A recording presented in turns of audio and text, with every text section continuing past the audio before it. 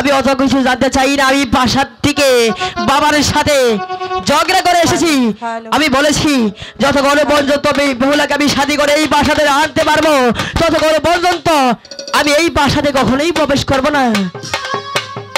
তুমি বলো তুমি কি আমাকে সত্যি ভালোবাসো?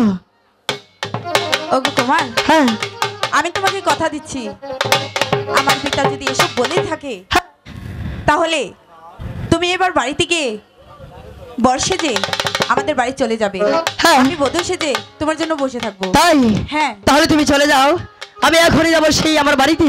আচ্ছা ঠিক আছে। তোমার জন্য আমি পালকি নিয়ে আসব যাক সেই বাবাকে কথা দিয়ে এসেছিলাম। বাবা আমি যদি সেই বাবুলাকে স্বাধীন রাগ করতে পারি তাহলে এই বাসরের ঘরে আজকে বহুলাকে বোঝাবো যে আমার বাবাকে অপমান করা কতটুক? চালা জানতো না। তাই আর বাবাকে আমি কথা দিয়েছিলাম, আমি বহুলাকে শাদি করে সেই বাসাতে নিয়ে যাব। তাই আমার মনে আশা পূর্ণ হয়েছে। এবার আমি যাব সেই আমার বাড়িতে। আমি বরে যাচ্ছি সেজে। বেহুল, আমার জন্য বধূ সেজে অপেক্ষা করছে। আমি বড় সেজে এখনই চলে যাব। সেই বহুলার কাছে পালকি নিয়ে।